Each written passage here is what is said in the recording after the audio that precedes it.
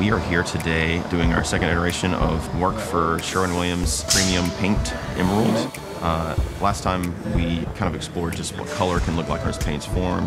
This time we wanted to show people not just what paint could look like, but what it could become. And we started to think a lot about how to make paint move in interesting ways, like how we could throw it around, make shapes, tell a different story, uh, and how we could do more interesting um, and dimensional camera moves. All of this is this beautiful color narrative, but it's also taking paint and doing things with it that no one's ever done before. McKinney and Sherwin-Williams have partnered with uh, Psyop production company as well as uh, the Marmalade because they have built this uh, motion control system called Spike Spike, uh, along with the software that it works with, gives us unprecedented control over camera movements at a very high speed. So this shoot would have been impossible without a system like that.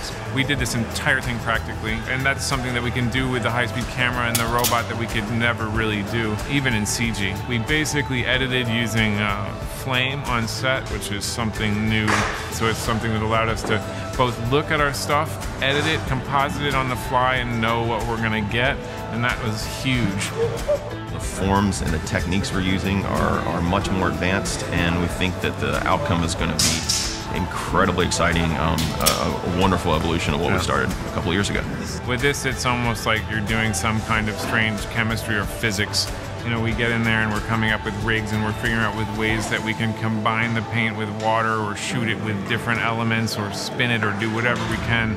This is something dynamic and fun. It stays true to the paint. All of the emerald paint is the real paint that's being used in this film and everything that you see is true to life. Couldn't be any cooler.